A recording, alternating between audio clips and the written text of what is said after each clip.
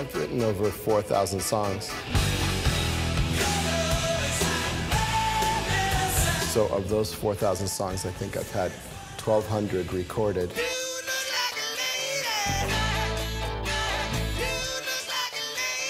And of those 1,200 recorded, I've had 80 of them be in the top 40.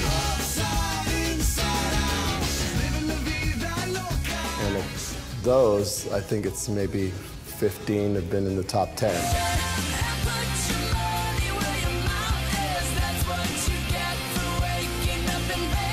So it takes 4,000 songs to, to make 10 good ones.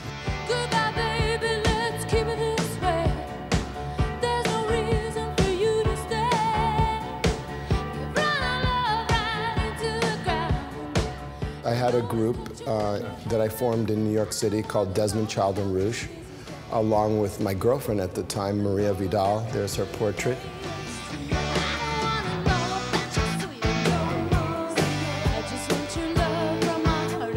We lived together for four years and we formed our group and we played all around New York. And this was before we had a record deal.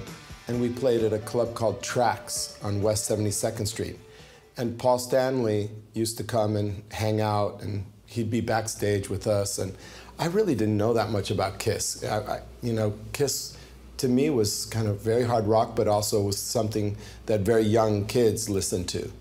So um, I just knew him as a great person, and he loved uh, he loved being around the girls, and you know I think he had a little bit of a, a shine for Maria, and um, you know who she and I were just kind of breaking up at that time, so it was kind of it was okay, and so um, he he said, hey, we should try writing a song. So I helped to co-write I Was Made for Loving You. Tonight, I wanna give it all to you.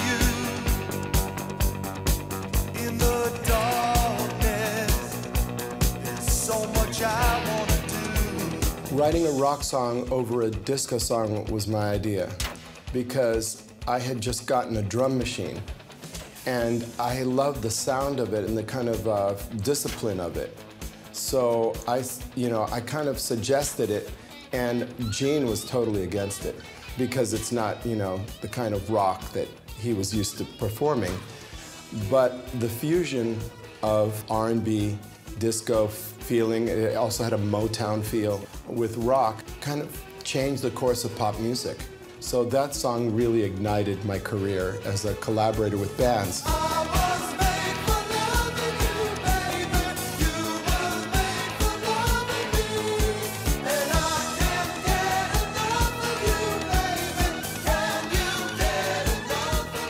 But it was around that time that I also realized that I was more gay than I was straight, and more gay than I was bi, and uh, um, and so it, our group broke up because it was very difficult to keep going as a couple and with the group. But you know, in the end, I guess everything happened as it was going to happen because if I had stayed being an artist, I wouldn't have written all the songs that I did for all the other people.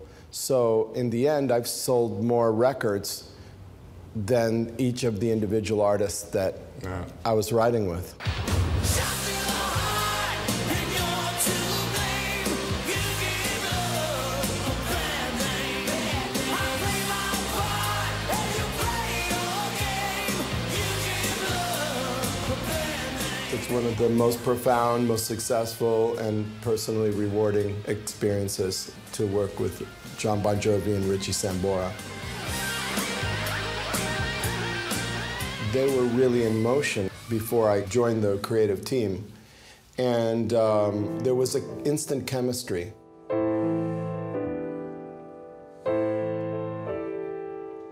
Tommy used to work on the docks. Maria and I lived in a little apartment, and I stayed home and I was writing songs. And she was working as a waitress, and at that restaurant they called her Gina because they reminded her of Gina Lollobrigida. Gina works the diner all day. And And so when I went to write the song with Jon Bon Jovi and Richie Sambora, I was thinking about, you know, me being, you know, my real name is John. So uh, it was Johnny and Gina. And then uh, Jon Bon Jovi said, no, it can't be Johnny because that's my name. Then people think it's singing about me. So, I, so I said, okay, Tommy. So went Tommy and Gina. Tommy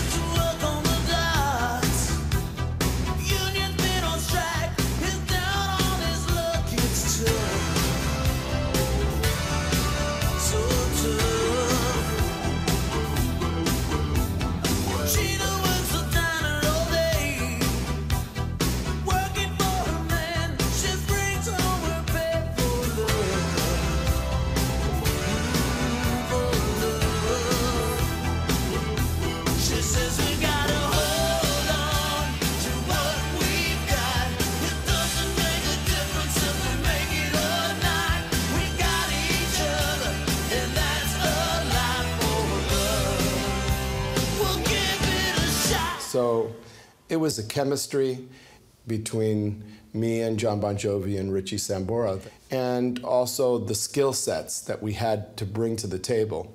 Because I grew up on the East Coast, and I had a lot of experience and exposure to R&B music. So they were really into hard rock. And so somehow working together, the grooves that got into the music had a kind of R&B influence, and also the lyrics, instead of just being about sex, drugs, and rock and roll, we started telling human stories, like in "Living on a Prayer," that had a more of a singer-songwriter feeling.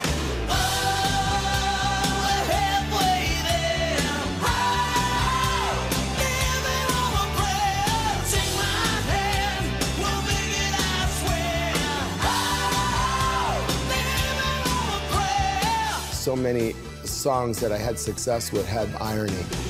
You give love a bad name. I hate myself for loving you. How can we be lovers if we can't be friends?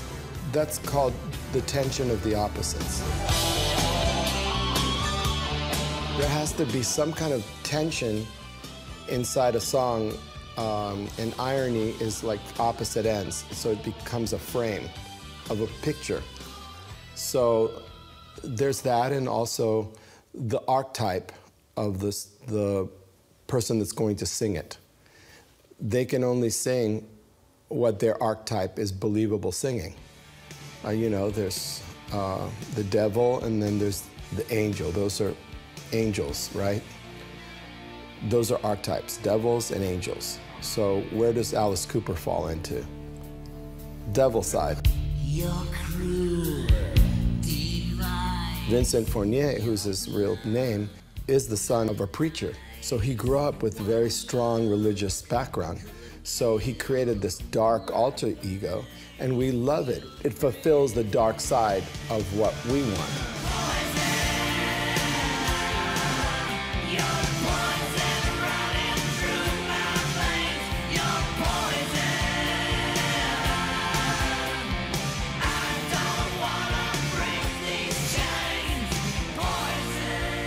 Then who's who's an angel? I would say Jon Bon Jovi is like a, is it like an angel? He's blonde, he's beautiful, he's heroic. Um, he stands for all the right good things. So he's on the opposite end. You know, I, I would say Steven Tyler lands in the devil side.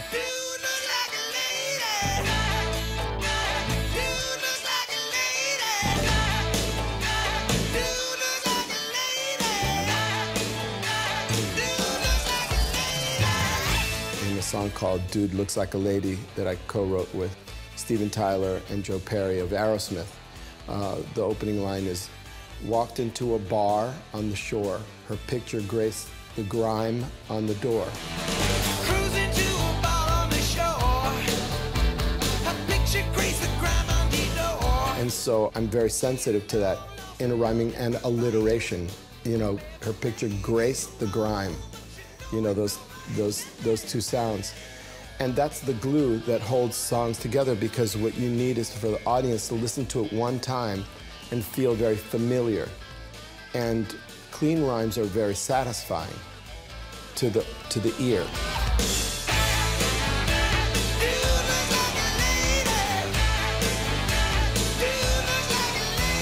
And also, the most important thing is a title. And then everything would serve the title. All the different ways that you could interpret a title. You know, or at least a very strong concept of what the song was about. But usually, a killer title is a must.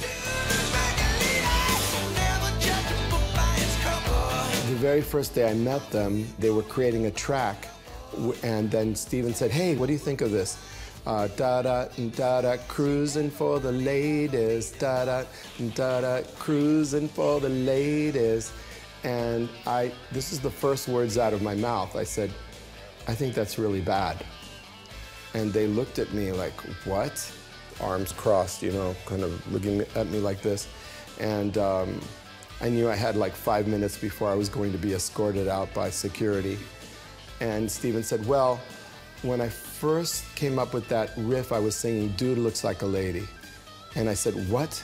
That's perfect. That's amazing.